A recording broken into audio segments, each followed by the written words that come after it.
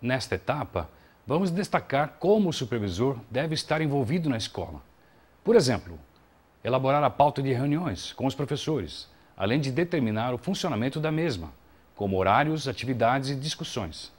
Portanto, são funções do supervisor escolar.